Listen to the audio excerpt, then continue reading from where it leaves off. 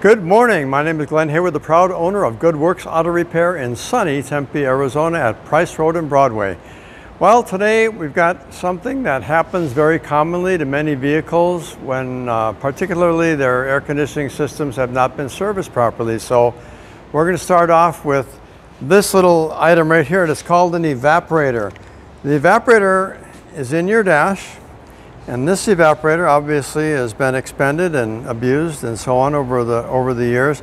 And his air conditioner quit working. And this by comparison is the new evaporator so that you can see what it's supposed to look like when they're brand spanking new. So there's a cabin air filter that protects that particular item from being destroyed and uh, get all of that amassment of, of dirt and grime and all the other stuff like that. And eventually with those disproportionate temperatures in there and the pressure that runs through an evaporator, it gives out, the seams burst and then the, the refrigerant starts to leak and then it accumulates more dust, dirt and crud on top of it. But this vehicle re required the entire removal of the dashboard as they all do.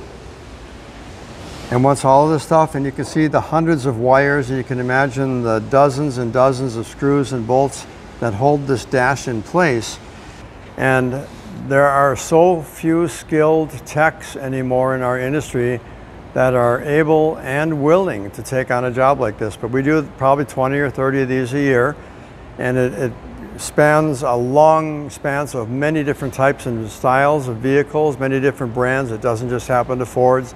It happens to Nissans, Toyotas, whatever. We do the, all kinds of them, Jeeps.